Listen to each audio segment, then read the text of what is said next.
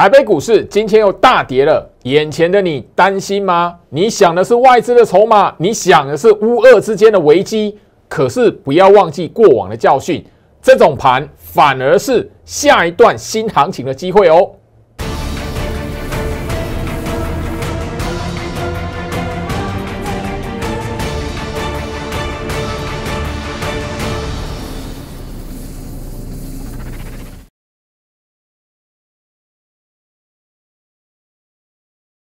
欢迎收看股市招妖镜，我是程序员 Jerry，让我带你在股市一起造妖来现行。好了，今天来讲的话，礼拜五哦，台北股市又出现了一个回跌了。那我先就说，现全市场现在来讲的话，所担心的第一个哈，全台昨天的停电是不是产业这一边的亏损会反映在行情里面？第二个部分来讲的话。你也许会觉得，就是说，美国股市这一边接下来要面对的是乌俄之间的战火，一直没有办法有效的停止，甚至有人在谈到说，哦，那个俄罗斯都已经要哦攻击乌克兰的核能发电厂，哇，后面来讲的话，核灾怎么办？我说，哦，这个时间点来讲的话，你反而要好好想一下哦，去年很多时候这种哦。市场陷入恐慌的时间点，它不会是你退出股票市场，不是你把手中的持股出清卖光光，绝对不是这个时间。你如果好好去回想一下去年的行情，这种很多时候来讲的话，那个市场的危机出现了，或者是呃群众发发现了一些让你恐慌的事情，反而哦不会是空头的开始。你越担心市场担心在前面的盘哦，越不会是空头的危机。记住这一个重点。来，今天来讲的话哦，盘面上反而哦，大家可以看得到哦，航运股、货柜三雄来讲，持续的变成是我们整个在盘面上面的主角哦。那我相信就是说，你把那个行情的重点抓出来，你自然而然可以从这些股票的身上看到一些你现在的机会在哪里。好，来今天来讲的话哦，整个阳明货柜三雄里面的阳明哦，盘中一度的攻上涨停板。那我先就是说，昨跟昨天的长荣一样，然后那最近来讲的话，货柜三雄的表现都已经是让大家可以看得到，从谷底来翻身。那我先就是说，一路以来锁定薛老师的节目的朋友，我在去年年底就已经特别谈到了这些股票，他们不是空头格局，而是你要知道的是。他们在日线图上面这一边，很明显的是沿着年线扣底值两百四十 MA 这一边来做测试，来做一个打底、重新打底的过程。所以反而要特别留意到这一点。你如果还记得哈，因为周老师这边要强调再强调哈，很多人把过去的教训忘记了。你如果还记得的话哦，其实大家你会发现，当这样的股票格局。大家一致看好，调高目目标价，然后拼命拼命的吼，市场上面买盘就是要买这种股票的时候，你会发现它往往都会是它股价高峰的开始。甚至这一种吼航运股来讲的话，是一个景气循环股。今天来讲的话，大家你可以看得到，因为阳明今天来讲的话哦，盘中有触及到涨停板。那你会发现，货柜三雄长荣、阳明、万海似乎的有一点在轮动。轮流变成是一个盘中的主角，那我要提醒大家，这种状态来讲的话，你就要知道，你回想一下去年，当股价拉回的时候，热络过后拉回的时候，天天都还有利多消息，一直到后面来讲的话，股价利多出来了，结果往下破，当所有长荣跟阳明哦是灌破一百块，好，当时候来讲，股价甚至哦看到八字头。后面来讲的话，看到八字头，那反而这边来讲的话，看到的是什么？慢慢的一些疑虑出来了。你现在哦，在那种打底的过程，然后疑虑都慢慢的讯息慢慢的消化完之后，反而现在股价拉起来了，你慢慢的会看到一些的利多讯息出来。利多讯息出来，是你在这个时间点要懂得是不是应该逢高来做调节，或者是你这一边从谷底。逆转胜的朋友，因为你当然有锁定我节目的朋友来讲的话，我就很强调，好像这类的股票来讲的话，一条的年线扣底值，它早在去年我在节目上强调，它不是走空头格局，它只是将它的股价高峰反应完之后，它的股价高点反映了这一个景气的最高峰完之后，拉回来股价重新进入一个中期整理的过程。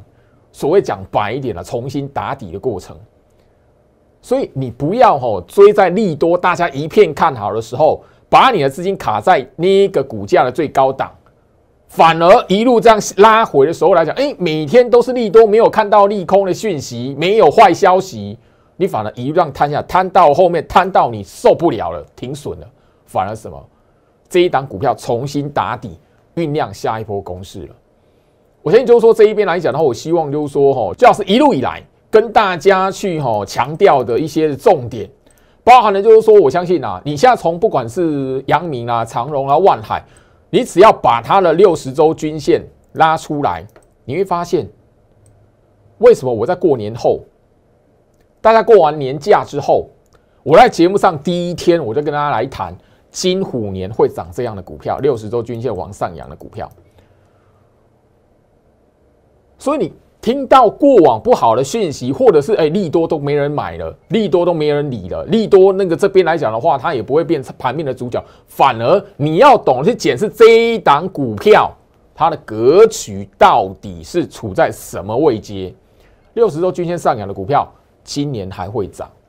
不要忘记，这是我在过年之后在节目上第一天就不断不断提醒大家的。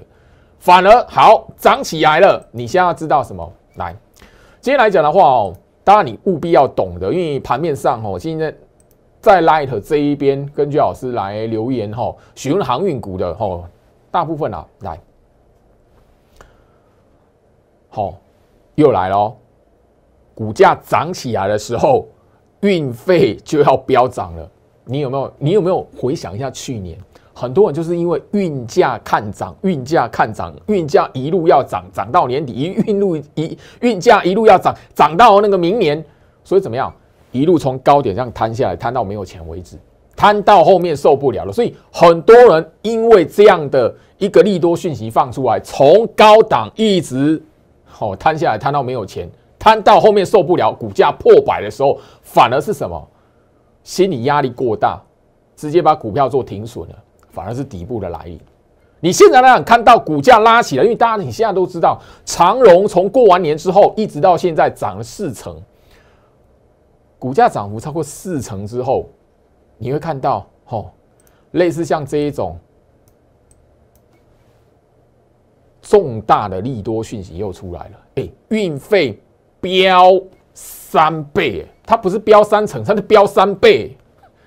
这个时间点来讲的话，你觉得你应该把你的资金再直接跳进去？哇，赶快哦！我那个去年停损错了，那一个阳明啊、长荣把它买回来，是这样子吗？股价是这样在操作吗？股票是这样在操作的吗？我希望就是说这一边来讲的话，最好是不断的提醒大家的。你现在来讲不用去猜说哇，那个老是长荣、阳明，或者是你这边来讲的话，没有会员来求助的万海，有没有机会回到去年高点？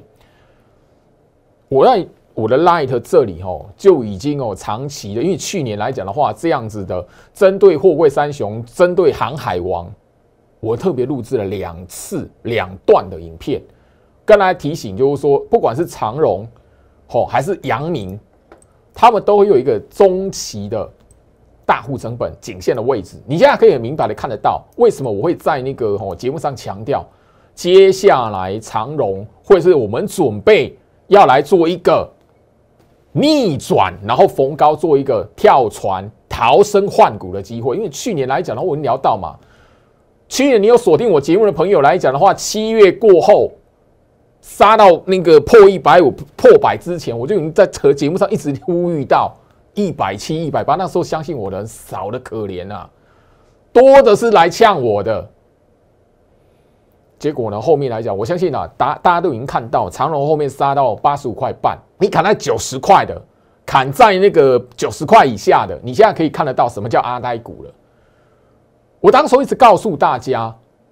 股价的格局你要懂得去判断。现在来讲的话，大家你可以看得到，因为连续三天，昨天的节目已经聊到，连续三天长荣哇，都站在一百五十块上面，一百五十块就一百四十八的大户成本之上了。所以这个关键价位有不有没有用？你看到利多讯息哇，任何的反弹拉抬都不过它的大户成本，那是真还是假的？你现在来讲的话，一看到我那个没有，大家都没有没有想到说后面来讲的话，这些哦航海王航运股居然会复活。默默的在大家都没有很关心的状态下，哎，给你拉到一百四十八块了。你拉到一一百四十八块、一百五十块，今天来讲的话，长荣已经拉到一百七了。你再来讨论说，老师有没有机会吼回到两百三十三啊？我说哦，你在思考这个人这个这个问题的朋友来讲的话，你看一下我 Light 早就已经分享的，一百九十七块。你如果要看到长荣回到两百三十三块。它必须怎么样？要能够站到一百九十七块，而且要能维持在上方，你再来讨论有没有机会回到二三三。但我去年的那一个节目来讲，已经不断跟大家来做强调了吼。来，长隆、阳明、万海，我不是不看好他们，他们也都是好公司。但是这样的股价的周期，因为这样的景气循环股来讲，它有一个吼一个习性。你要知道，过往来讲的话，不管是航运跟钢铁、原物料族群，它有一个特色，它的股价会走在那个景气循环里面的前面，所以股价的高点会先反映那个类股族群、那个原物料族群那个大循环里面的最高峰，它会先反映。股价会走在前面，所以你当你还在看到哦，哎，这边明明还赚钱哦，我这边报价还在涨哦，这边运费又来了，飙三倍哦，比去年更夸张。可是你要知道，它股价已经先反映高峰了，你务必要有这个观念，因为我去年来讲，在节目上不止谈了哈，不止谈三五次。我相信你去年锁定我的节目，甚至你去年有看我跟大家来谈航运股的朋友，我相信你一定非常有印象了，因为。你手中有航运，我看到我在聊这个是最高点，这个是最高点，你一定很不爽嘛？安了多少人是最后面那种被逼到停损在那个吼一百块以下、九十块以下的？如果你仔细去回想一下，那个时候让长隆、阳明、万海从一百一十块、一百块开始看到市场上追追在一百八、一百九、两百以上的人，从这边开始做停损。市场最惨的，我相信大家你都听得到，就是砍在九十块的。那八十五块那个最那个八十五块半哦，那个九十块到八十五块之间的那个真的就是阿呆股。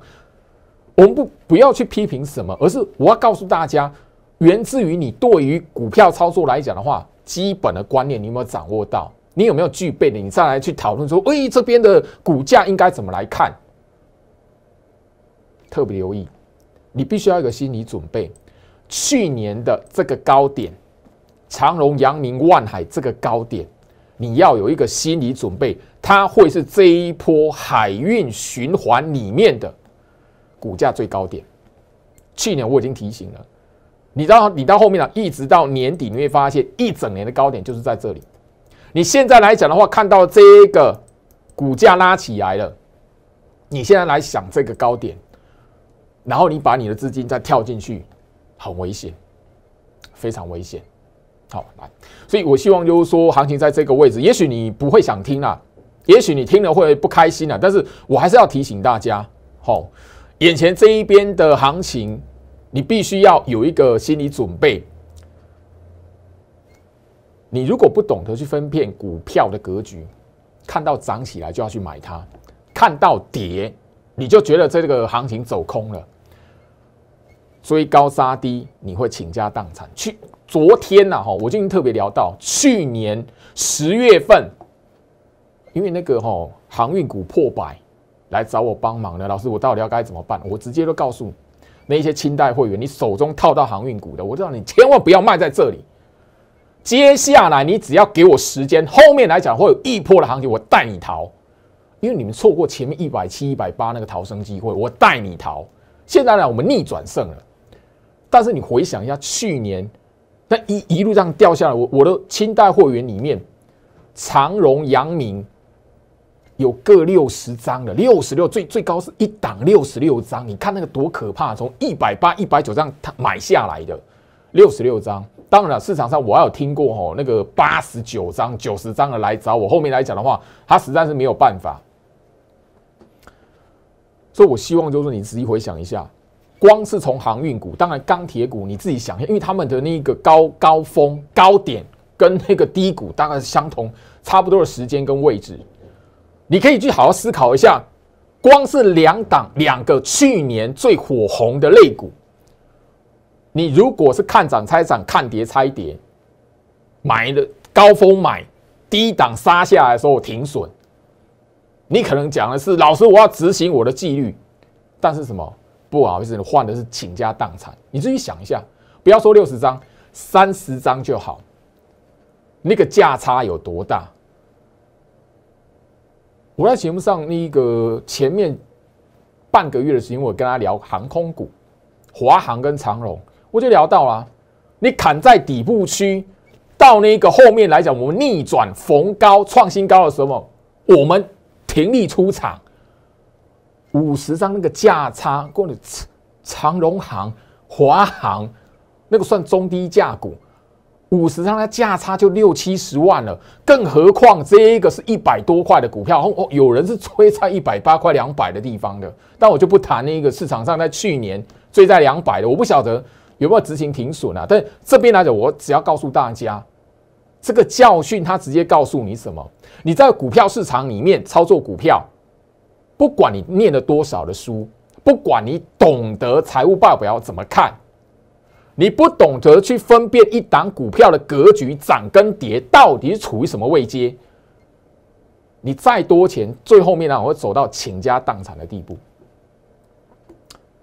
也许哦，我我一直聊了这样的。这样的讲法哦，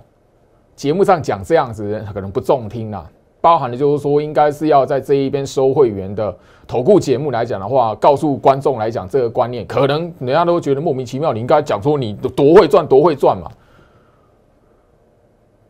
我要做我该做的事情，分析师他应该有他专业应该要发挥，带给市场投资人一些正确观念的一个好要做的事情，不是说告诉市场投资人，哎，这个多好赚。来，你在思考哈，长荣、阳明或者是万海哈，到底会不会能够过前坡高点的？能不能挑战前前坡高点？我我还是这边提醒你，在我 Light 这一边，你只要哈，当然画面左下角小老鼠 Go Reach 五五六八八，小老鼠 G O I C H 五五六八八，这个我唯一的官方 Line It，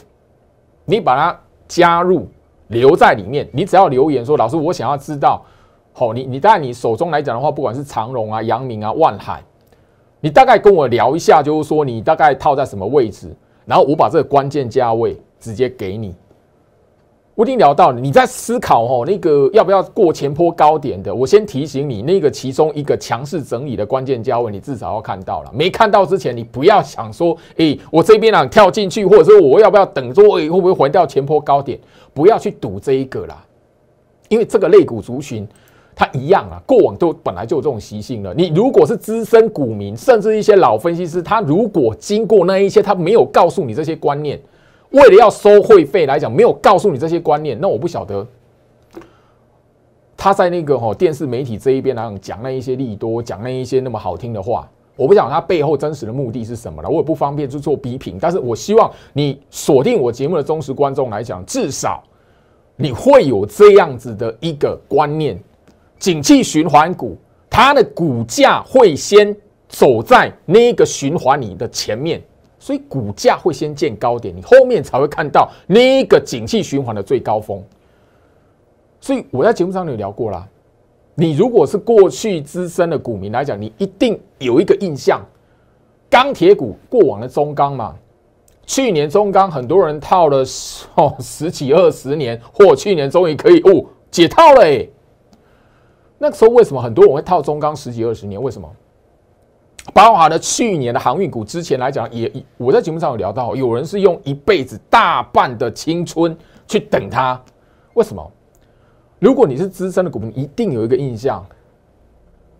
中钢一钢铁股或是航运股高点已经出现了，诶，已经攻了一段了，诶，可是我还听得到后那个他们的公司后面还有利多啊，那个明明前一个月诶股价攻一波，现在拉回了，可是这个月我还听到他们的报价，哦，按航运股来讲的话，就是它的运费这一波量主要是运费。那钢铁来讲，一一一直以来都是盘价报价看涨，还会继续涨，怎么样子的？我都还听得到那个利多的讯息，报价还会涨。可是那个股价就是一下来下来下来回不去了，怎么弹都回不去了。然后一等可能就是大半辈子，二十年一个小孩可以变成成人呢，可以从国小变成念大学，要大学毕业。所以这边来讲的话哦，我我不跟他来谈，就是说哇，老师你保证这边一定会怎么样吗？我跟你讲，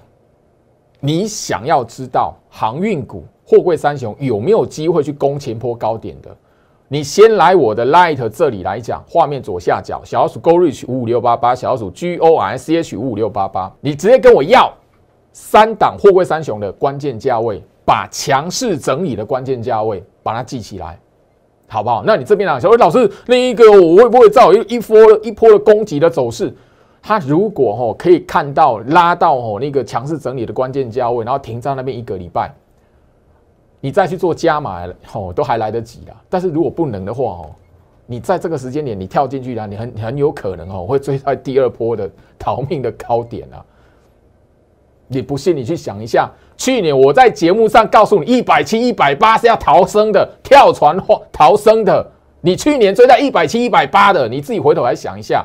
我节目讲跟你讲跳船逃生，可是你跳进去，因为有利多，没有坏消息。因为那个时候我印象超深刻。我在节目上跟你讲跳船逃生，很多人不爽，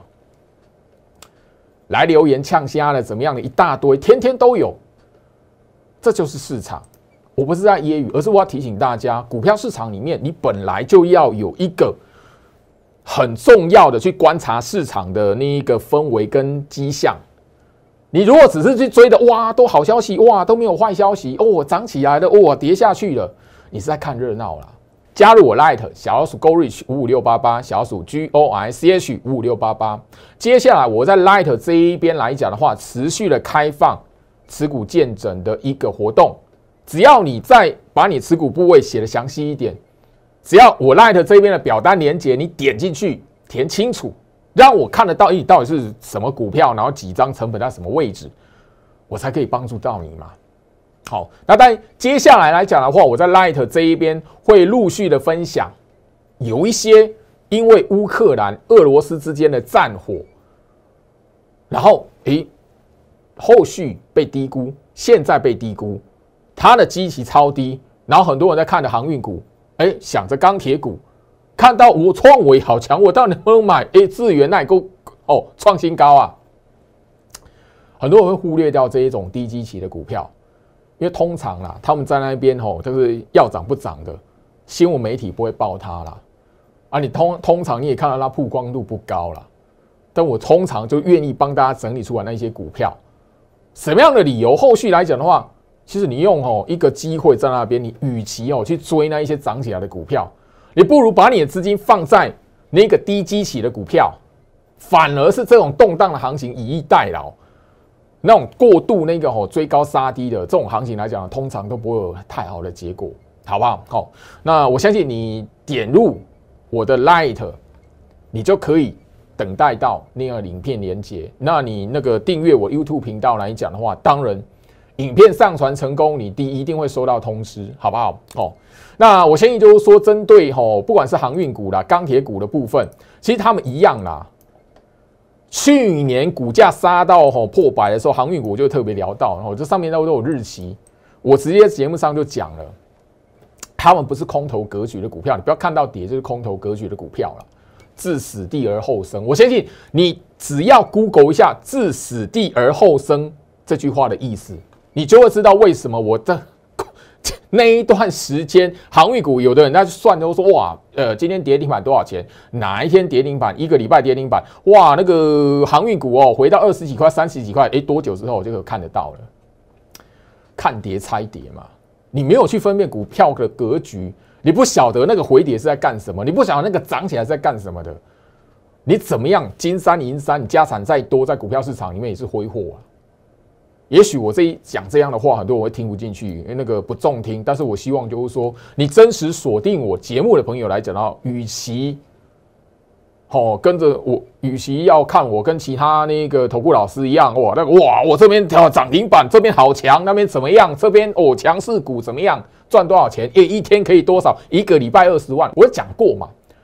跟你宣称一个礼拜可以赚二十万的，你去参加完之后，你看你下场是什么嘛？因为你的贪念造就了他在市场上面有一个非常大的生存空间嘛。这么多年了，他还可以得手。问题在哪个地方？供需而已啊。你的人性让他可以得逞嘛？我不做这件事情，我希望我的节目来讲的话，可以让市场的投资人有一些正确的观念。你至少踏进股票市场里面，你的辛苦钱投在股票市场里面，你要有一个最基本的，你认识这一档股票。它的格局是什么？所以我一直聊到后续来讲的话，金虎年六十周均线上扬的股票啊，但是你要知道，六十周均线上扬的股票，最近大家可以看得到，这个礼拜非常精彩的航运股、钢铁股，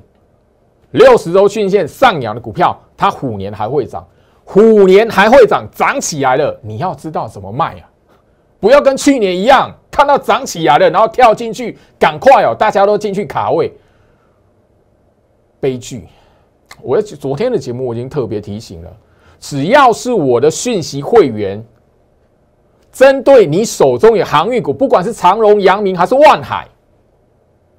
只要你手中有货柜三雄的股票要出掉，你不管是套在去年的高档，或者是套在今年，你你抄底了干什么的，没有关系。我只要是我的会员，讯息会员，我都会给你。我们最后面直接一个目标价，直接要出清的那个哈讯息给你。时间到，你盘中收到我这个会员讯息通知，你就知道这一边来讲的话，航运股就是要先卖掉的。当然，我清代的一对一的盯盘的会员来讲的话，他如果手中的持股，因为我跟昨天就有聊到嘛，去年我有这样讲啊，来找我帮忙，最多一档六十六张，哎。一一百五十块，一百六十块，一百八十块，套到后面来讲的话，来找我，因为他看到股价破百了，不晓得该怎么办，来找我的，你就会知道看懂股票格局有多重要。你砍在去年那一个破百，砍在去年破九十，你现在来讲的话，你等于说倾家荡产嘛？你会发现，哎，才多久的时间，其实是可以什么逆转胜的。那有没有人愿意告诉你这件事情？所以不管你任何等级啦，但因为这边来讲的话，你如果持股部位比较多的，那你必须跟时间赛跑，慢慢的逢高来将你的持股换成现金，把你的资金转到现在来讲，另外在底部区的股票后面会有一波涨势的那个才是对于就是说你资金比较大一点的朋友来讲的话，现在应该有了操作了。那你这边来讲的话，也许是少量的航运股的。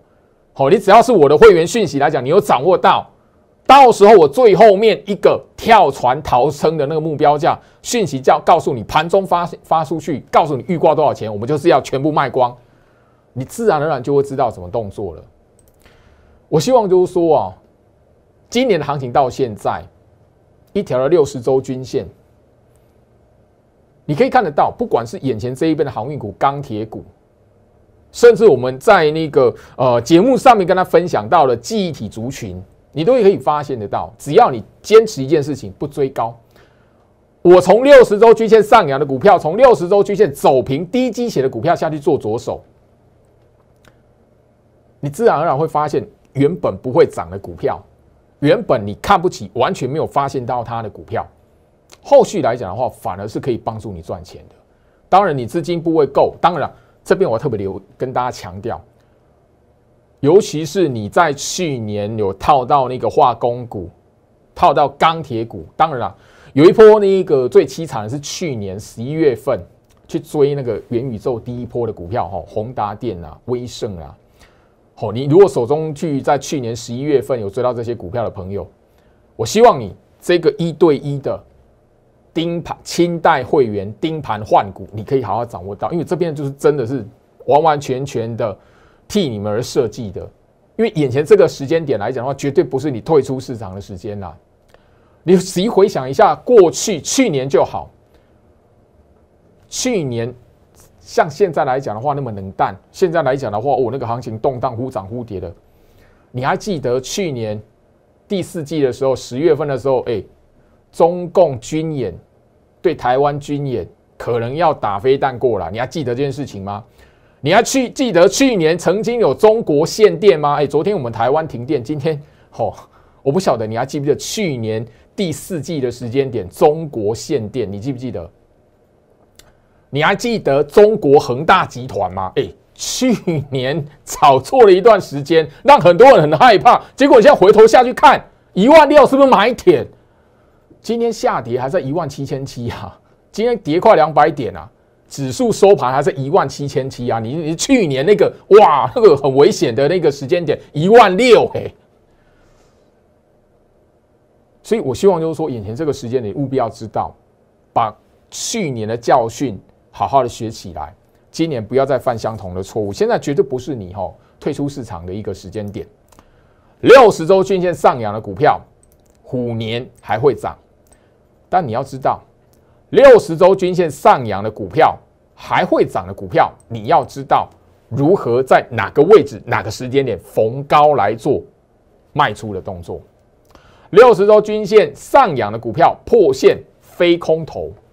很多现在来讲的话，在底部区重新打底整理的股票，它就跟去年破百的航运股、破九十块的航运股一样，不是空头格局。你从航运股的角度看到货柜三雄里面的长荣跟阳明，现在很多股票它的格局就好像当时候的长荣跟阳明破一百块、破九十块那个时间点一样。因为它让你看起来哦，好杀成这样子空头格局的股票，你现在回头来看，那个时候破百的、破九十块的是买点还是卖点？你砍在那一边，你卖在那一边的，冤不冤枉？现在有很多股票跟当时候的长隆、阳明一样，是处于那个位阶，五年还会涨的股票，现在这个时间点是你应该在这个动荡的过程，看到行情跌下来的时候，低挂进场去部署的。把你前面高档、基期高的股票，我们把它换股换到基期低的股票。现在这个震荡的过程，你就是该做这件事情。朱老师已经强调了，大盘现在是不会有方向。我在过年之前，我就跟大家来强调：你不管看到大盘涨，你不管看到大盘跌，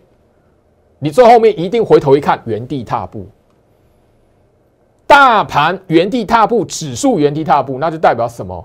股票会轮动，就这么简单。股票会轮动，你就不能看到什么涨跳进去买，因为轮动的过程，你看到涨才要去买的，你就会把你资金套在高档，因为资市场资金把它收回来，要去拉另外一个没有没有涨的股票，所以你后面很容易在这种格局面追高杀低。与其你去不断的追高杀低，你不如在这个时间点知道怎么去分辨股票的格局，在这个时间点做好一个。大行情出现之前的部署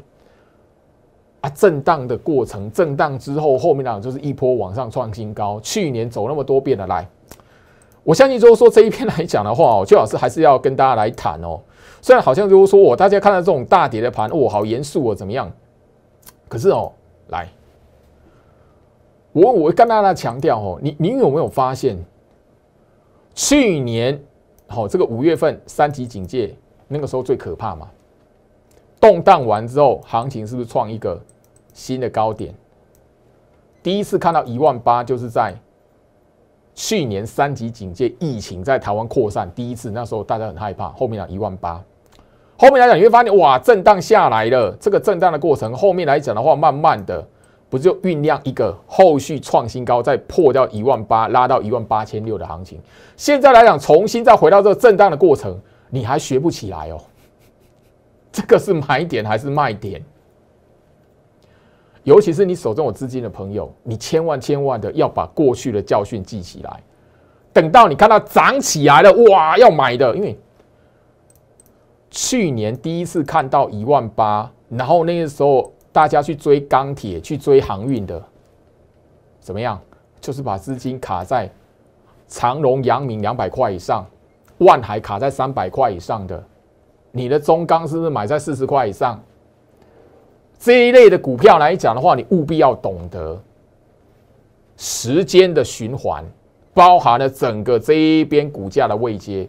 你要懂得去分辨。时间关系啦，今天跟大家聊到这里。我希望就是说，礼拜六、礼拜天，大家你在那个家里面看节目来讲的话，好好去思考一下，因为眼前这个时间点，告诉你哇，我们的股票这边涨起来了吼！我相信你大家都看得到，知道基体族群，好，金豪科今天来讲的话表现不错，创下一个最近这半年的新高。基体族群的股票，你觉得我们只会买金豪科吗？我已经聊到了，现在来讲很多底部区。记忆体模组厂、记忆体封测厂，这些股票难道我没有带会员去部署？很多是平价股，你知道吗？我相信你也都看得到了。安国今天来往上涨，我在节目上早就已经跟他聊到了。上个月的节目过完年之后，安国 Net Flash 的控制晶片厂，这个我在早上讲过，Net Flash 记忆体族群的。难道那一些股票涨起来，你不会知道，你不会想到说，哇，那一些在底部区的很多人，那个趴在那边多久，底部他们打底多久，哎，上不去也下不来的，后面会轮轮到他们涨，你现在是不是该买他们？那你干嘛把你的资金去问说，哇，老师，那个钢铁股拉起来要不要追？老师这边来讲的话，长隆还能不能买？阳明还能不能买？务必要把过去的教训记起来，在眼前这个时间点做对的动作，替你后面的财富来做部署。祝福大家周末愉快，我们下周见。